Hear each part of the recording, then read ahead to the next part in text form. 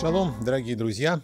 Что Шауль из Тарса был фарисеем до встречи с Мессией Ишо, это нам всем, я предполагаю, хорошо известно из Нового Завета. Если кому-то не известно, то вот что он э, говорит сам о себе.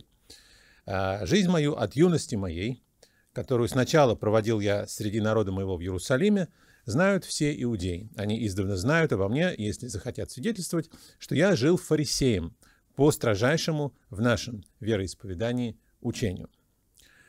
И вопрос, который я хотел бы обсудить э, сегодня и вот в этой серии программ, э, он такой. Э, остался ли Шауль фарисеем после этой встречи? Мы знаем, что эпизод на Дамасской дороге, описанный в 9 главе книги «Деяния апостолов», радикально изменил его. Из гонителя учеников Ишуа он сам превратился в одного из них, и не просто в рядового ученика, а в шалеха, то есть в посланника Мессии, в апостола. Но что насчет его иудаизма? А остался ли он иудеем? А претерпел ли его иудаизм какие-то изменения, если он остался им? А остался ли он фарисеем? И, или же он полностью порвал с иудаизмом вообще и с фарисейством в частности и стал христианином? Большинство христиан считает, что да, разумеется, а как же иначе? Некоторые наоборот утверждают, что он не имел никакого отношения к христианству и был фарисеем всю жизнь, а не только до того, как Ишуа явился ему по дороге в Дамаск. Кто же прав? Эти вопросы у нас могут возникнуть по той причине, что в Новом Завете а, перед нами предстают два очень разных Павла. А, в посланиях самого Павла а, мы видим апостола язычников, который а, пишет там а, разные вещи про закон Моисеев, очень режущие слух иудеям. Их запросто, все эти вещи можно услышать в среднестатистической христианской церкви. А вот в книге «Деяния апостолов» перед нами предстает ученик Иешуа, который говорит о себе, например, такие слова «Я фарисей, сын фарисея». Более того, там Шауль не просто делает какие-то вот такие заявления – а еще и совершает ритуальное очищение в Иерусалимском храме. И два эти образа кажутся нам совершенно несовместимыми, и возникает вопрос, который же Павел настоящий? Тот, который э, в деяниях, или тот, который э, в посланиях? Фарисей, сын фарисея, или же тот, который э, сказал о себе, что для чуждых закона я был как чуждый закона, и который написал, что всякое творение Божье хорошо, и ничто не предосудительно, если принимается с благодарением. Он имел в виду пищу. А, и вот один американский автор поставил а, этот вопрос так. Ел ли Павел свинину? И от себя я добавлю, а если ел, то причмокивал ли в это время? А непредвзятый поиск ответа на эти вопросы оказывается делом непростым, и трудностей здесь э, несколько. Во-первых, сам Павел, э, на мой взгляд, фигура очень непростая, очень сложный человек, объемный, а не плоский, если так можно выразиться, и не просто объемный, а многогранный. А понять такого человека может быть нелегко, и для, для этого нужно, на мой взгляд, самому различать хотя бы пару оттенков серого, а не только черное и белое.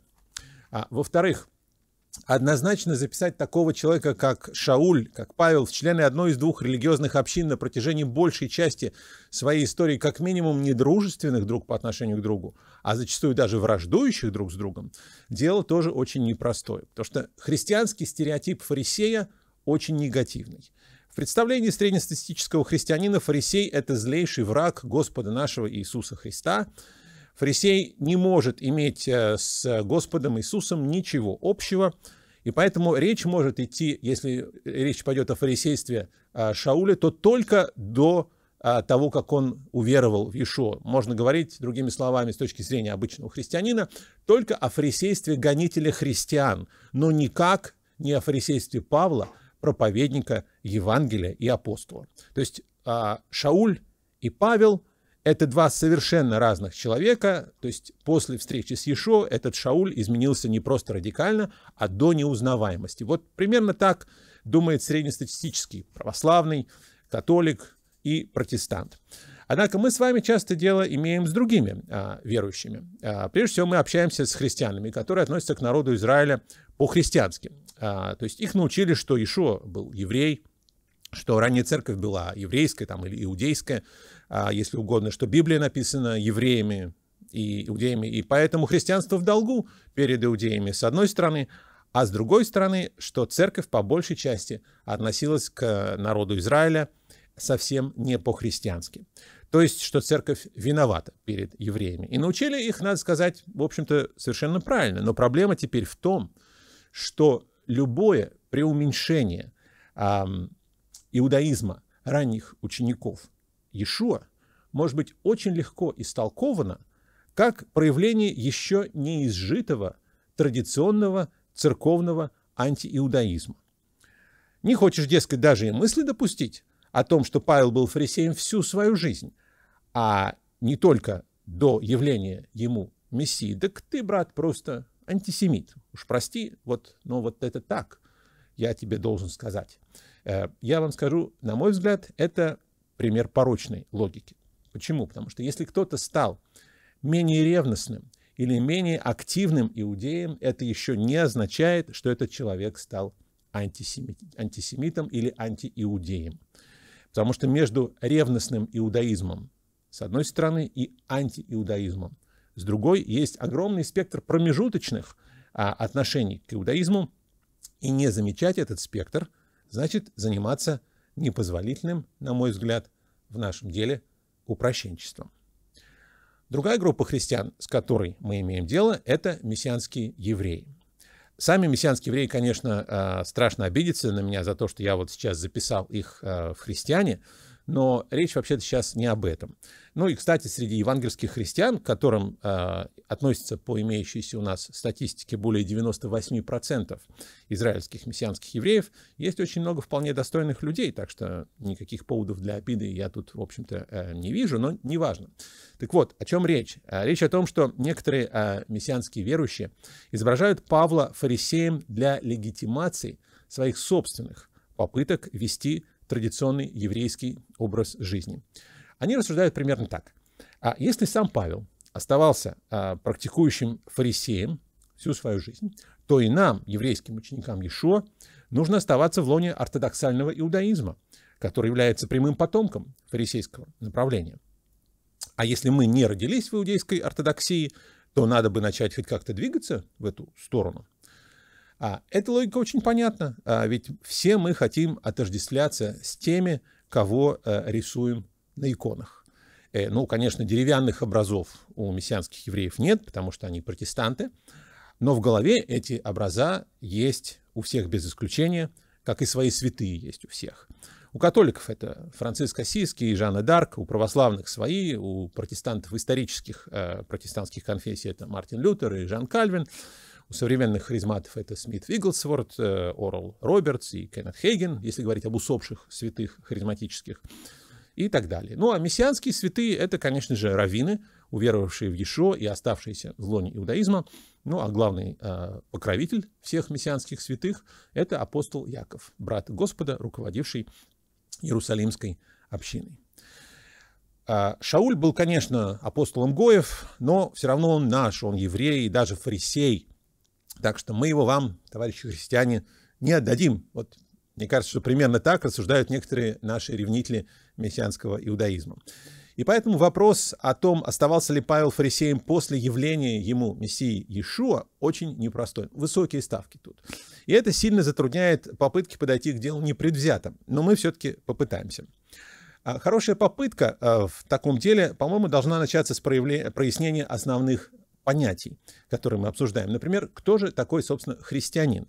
И кто такой фарисей? Если на эти вопросы мы ответим более-менее грамотно, то, может быть, сможем понять, а, может ли, можно ли одновременно быть и христианином, и фарисеем, или никак нельзя. Начнем с понятия христианин. Для нас с вами а, христианин а, это обычно все-таки не просто последователь Христа, а еще и человек, имеющий отношение к христианской церкви. То есть он верует в три единого Бога, Отца, Сына и Святого Духа. Он состоит в той или иной христианской общине, там, православной, католической или протестантской. Он встречается с единоверцами а, на богослужении, минимум там, Рождество и на Пасху, максимум каждую воскресную литургию. Или если говорить о евангельских христианах, то на каждом воскресном собрании, митинге, так сказать. А, а наиболее ревностные еще и а, дополнительные мероприятия посреди недели посещают. А между тем, изначально слово «христианин» означало просто-напросто «последователь Христа». А соответствующее греческое слово «христианус» а, впервые встречается в Новом Завете в книге «Деяния апостолов», сначала в 11 главе, где говорится о том, что так впервые начали называться ученики Иешуа в городе Антиохия, а затем в 26 где царь Агриппа а, говорит Павлу, что тот почти убедил его стать христианином. А, относился ли этот термин изначально исключительно к неевреям, уверовавшим в Иешуа, как иногда утверждают некоторые мессианские евреи? А, тут можно было бы говорить, а, так можно было бы говорить, если бы мы а, знали, что община в Антиохии была исключительно не еврейской.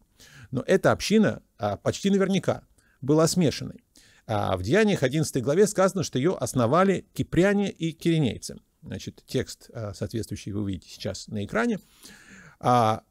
И хочется задать вопрос, а что же это были за люди такие, вот эти кипряне и киренейцы? Значит, кипрянином в Деяниях называется, например, иудей иудей, подчеркиваю, по имени Иосия, вполне иудейское имя, которому а, апостолы дали второе имя Барнаба, или в синодальном переводе это Варнава.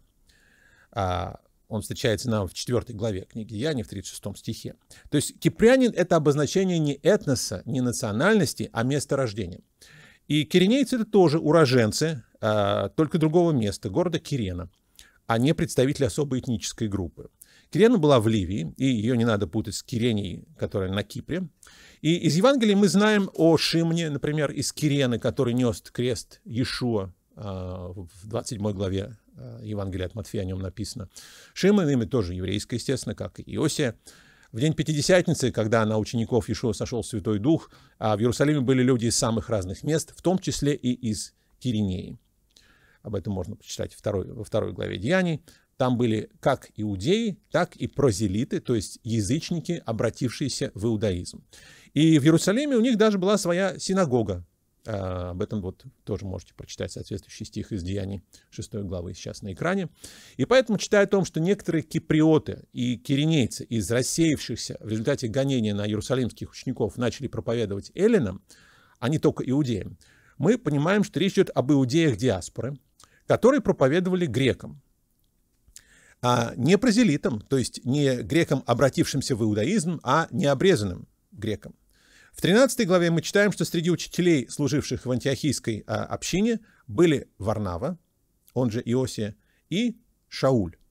И таким образом антиохийская община была, по-видимому, смешанной, как большинство ранних общин, и, соответственно, христианами там назывались и иудеи, то есть этнические евреи, и прозелиты, то есть обрезанные неевреи, ставшие иудеями, и необрезанные верующие, то есть верующие из язычников. Так что термин «христианин» или «христианус» принялся изначально ко всем подряд ученикам Иешуа, а не только к язычникам.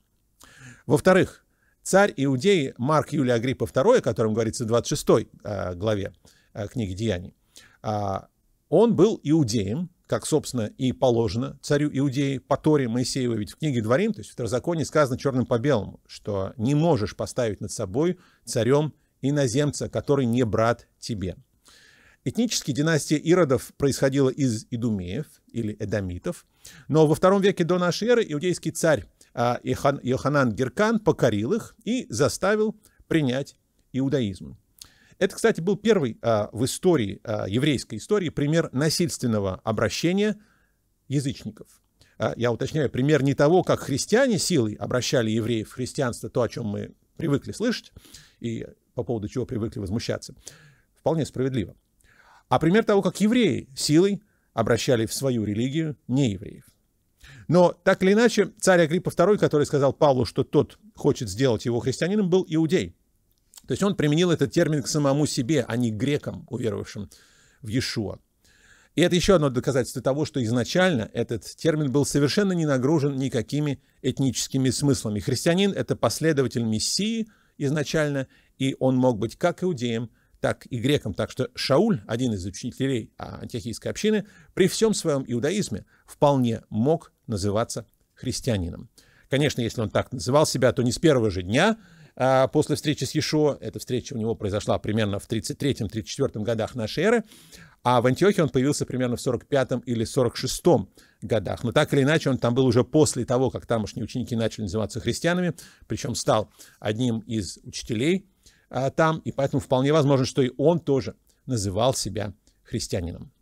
О том, мог ли фарисей, уверовав в Иешуа и остаться фарисеем, мы поговорим в следующей программе, но и не только об этом, конечно. Спасибо вам и шалом, до следующей встречи. thank you